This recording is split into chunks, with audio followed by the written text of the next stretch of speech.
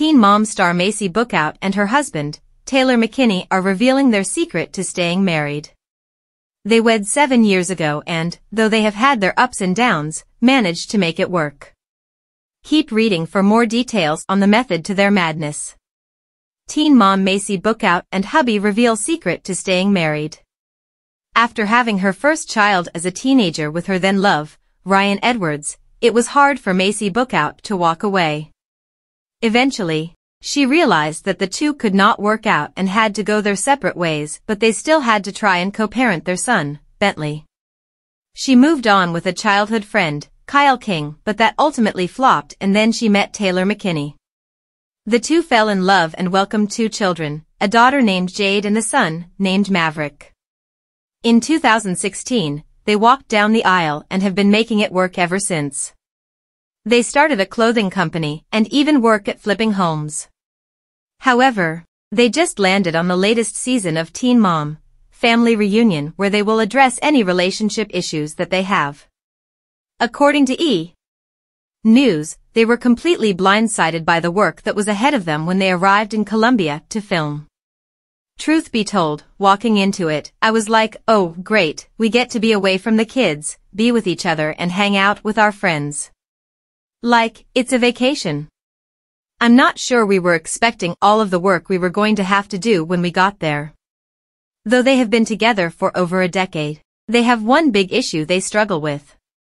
I think the main thing was communication, for sure.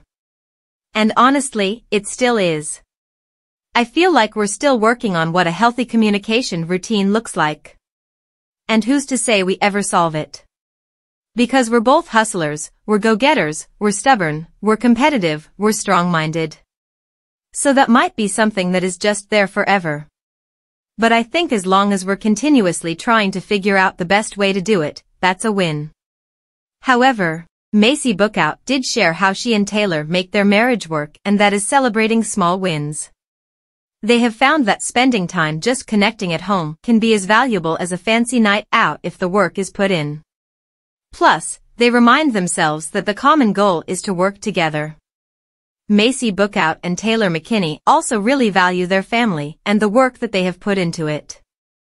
More so, the mother of three shares that they work amazingly well together.